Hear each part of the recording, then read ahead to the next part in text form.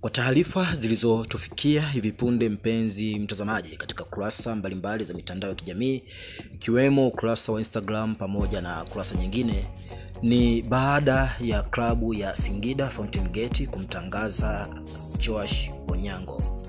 Ikumbukwe kuwa kwamba mpenzi mtazamaji, Joash Onyango aliwahi kuwa mchezaji wa klabu ya Simba na amedumu kwenye klabu hiyo kwa zaidi ya misimu miwili akicheza kama beki wakati kati lakini katika msimu uliopita, mpenzi mtazamaji, huenda ikawa hii ndio sababu iliyomfanya Joshua Onyango kuondoka katika klabu ya Simba na kujiunga na timu ya Singida Fountain Gate.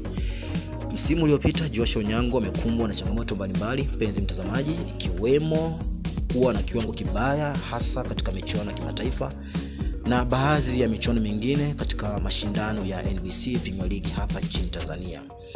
Hivyo kutokana na kiwango chake kibovu, Joash Onyango imepelekea wapenzi na mashabiki na wanachama klabu ya Simba kuondoa imani na kuona kuwa kwamba mchezaji huyu hataweza tena kuwasaidia. Lakini pia ziko tetesi ambazo zinamhusu mchezaji mwingine ambaye huenda akachukua nafasi ya Joash Onyango, mchezaji Che Malone Fodo, mchezaji ambaye ni kinda wa umri wa miaka 24.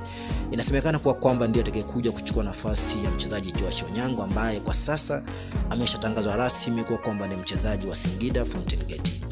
Kwa hiyo ni hayo tu mpenzi mtazamaji, ambayo nimekusogezea kuhusiana na mchezaji Joash Onyango ambaye siku ya leo ametangazwa na klabu ya Singida Fountain Gate ambayo inajiandaa kwa ajili ya michuano ya shirikisho barani Afrika, lakini pia pamoja na michuano ya NBC hapa Tanzania.